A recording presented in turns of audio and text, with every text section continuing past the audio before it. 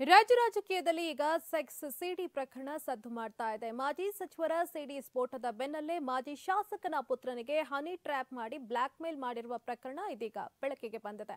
ಉತ್ತರ ಕರ್ನಾಟಕ ಭಾಗದ ಮಾಜಿ ಶಾಸಕನ ಪುತ್ರನ ಸೆಕ್ಸ್ ವಿಡಿಯೋ ಯುವತಿ ಇಟ್ಕೊಂಡು ಬ್ಲ್ಯಾಕ್ ಮೇಲ್ ಮಾಡಿದ್ದಾಳೆ ಎಂದು ಮಾಜಿ ಶಾಸಕನ ಪುತ್ರ ಸೈಬರ್ ಕ್ರೈಂ ಠಾಣೆಗೆ ದೂರನ್ನ ನೀಡಿದ್ದಾರೆ. ಧಾರವಾಡ ಜಿಲ್ಲೆಯ ಮಾಜಿ ಶಾಸಕನ ಪುತ್ರನಿಗೆ ಆ ಯುವತಿ ಫೇಸ್ಬುಕ್ನಲ್ಲಿ ಪರಿಚಯವಾಗಿದ್ದಾಳೆ.